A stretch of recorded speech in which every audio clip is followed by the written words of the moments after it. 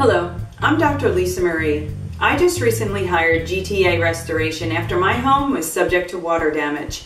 As a doctor, I can't tell you enough how important it is to get this type of thing taken care of. With all the health risks of mold, getting the restoration is very important.